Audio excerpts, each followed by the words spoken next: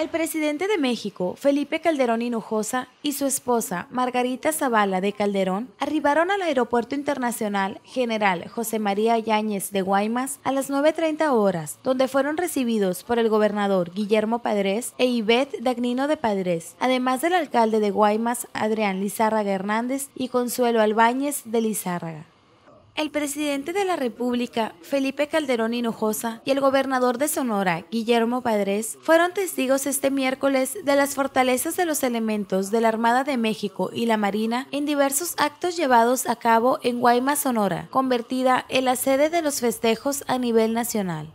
Posteriormente, y acompañados de su comitiva, el mandatario de México presenció durante los honores plenos una demostración de ejercicios de paracaidismo realizados por casi una veintena de elementos de infantería de marina, así como el simulacro de rescate de un avión de caza secuestrado por grupos de delincuencia organizada.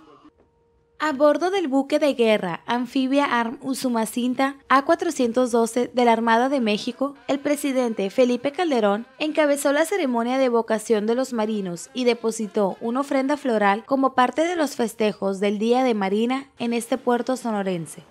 El jefe del Ejecutivo estuvo acompañado por el gobernador de Sonora, Guillermo Padres, el secretario de Marina, Francisco Saínez, el alcalde de Guaymas, César Lizárraga Hernández, así como de invitados especiales.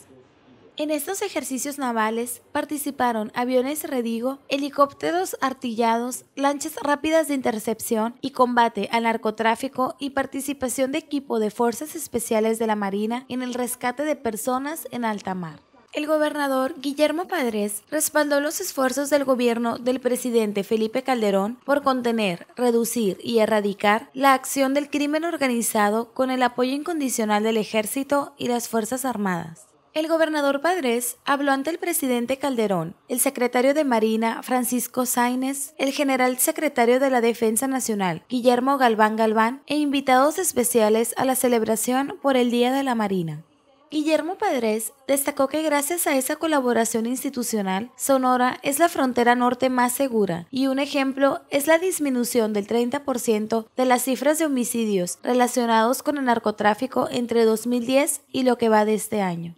Aprovecho la oportunidad para expresarle, señor presidente, que cuenta con todo mi apoyo. Los esfuerzos del gobierno federal y su titular por contener y reducir hasta erradicar la acción del crimen organizado, con el concurso abnegado y eficaz de nuestra Armada y Ejército, derivan de una estrategia que no nos da concesiones, no permite la ilegalidad al crimen organizado, porque el Estado sencillamente no puede pactar ni con la ilegalidad ni con el crimen. Y le reitero mi apoyo, ya que la seguridad pública es una exigencia permanente y constante, constante de la sociedad y como gobierno tenemos la obligación constitucional de cumplirla cabalmente. El ejército mexicano y la Marina Armada de México, nuestras Fuerzas Armadas, son más fuertes que cualquier organización criminal o que todas ellas juntas en el país.